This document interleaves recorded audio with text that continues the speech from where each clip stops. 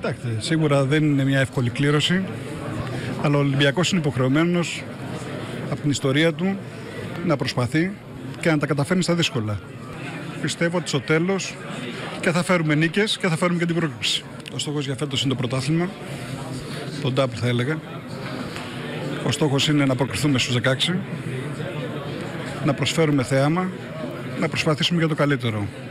Για μας ε, αποτελεί γιορτή το να παίξουμε με την ε, Bayern και να προσπαθήσουμε το καλύτερο να την κερδίσουμε μπροστά στους οπαδούς μας. Σίγουρα με την Arsenal έχουμε μια πολύ καλή προϊστορία αλλά όχι μόνο σε αποτελέσματα στην έδρα μας αλλά και μέσα στο Λονδίνο είχαμε παίξει πάρα πολύ καλά και αξίσαμε κάτι καλύτερο. Εμείς ε, πάνω απ' όλα είμαστε Έλληνες και θέλουμε το καλό του τόπου μας. Αυτό σημαίνει ότι θέλουμε οι ελληνικές ομάδες να πάνε όσο καλύτερα γίνεται στην Ευρώπη. Δεν έχουμε τέτοιου είδους κόμπλεξ. Τα πρώτα δείγματα είναι πολύ εθαρρυντικά. Αλλά χρειάζεται σκληρή δουλειά. Επίσης η φανέλα του Ολυμπιακού είναι πάρα πολύ βαριά. Για τους παίκτες και για τον προπονητή. Πολλά λέγονται.